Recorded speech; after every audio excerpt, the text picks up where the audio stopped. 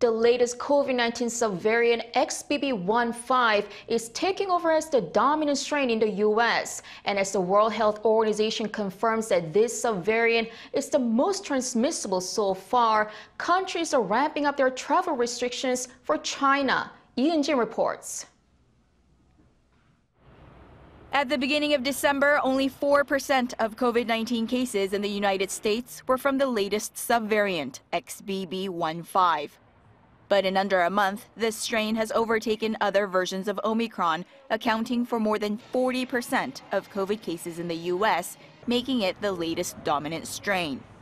On Wednesday, scientists from the World Health Organization confirmed that the XBB.1.5 subvariant has a growth advantage, but said it hasn't yet shown any indication of being more serious or harmful than previous Omicron variants.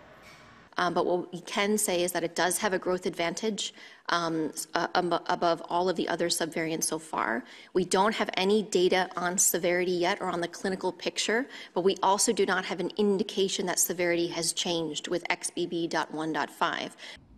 Scientists say that XBB.1.5, like its other XBB relatives, is shown to be the most immune evasive yet. Experts say that what gives it such a growth advantage is that the latest subvariant has a mutation that makes it bind more tightly to cells. Needing more data quickly to get ahead of this fast changing virus, the WHO Director General called for more effort from China.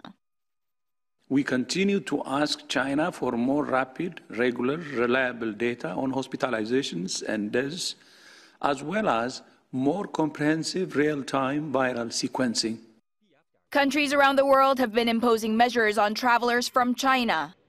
The 27 member states of the European Union have agreed to strongly encourage a requirement that would obligate all travelers coming from China, regardless of nationality, to show a negative COVID 19 test, and also that passengers on flights to and from China wear medical masks or respirators, in addition to other hygiene measures.